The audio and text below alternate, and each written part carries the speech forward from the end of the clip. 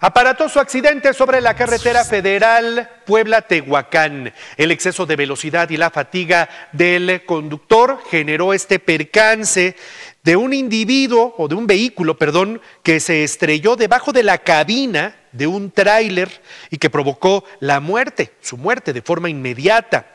Dos mujeres que acompañaban a este hombre resultaron lesionadas y fueron atendidas por paramédicos de Suma para darles los primeros auxilios.